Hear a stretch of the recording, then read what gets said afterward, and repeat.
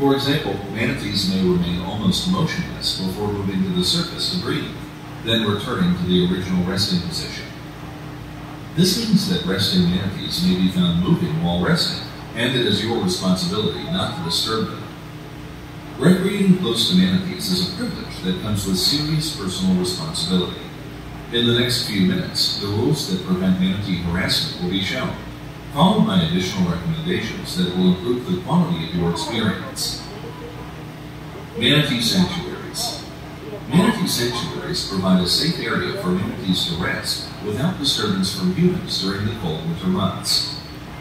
Manatee sanctuaries are designated by large orange and white buoys stating closed area. All activities are prohibited inside. Visitors must stay out of all posted manatee sanctuaries and all of the posted closed areas.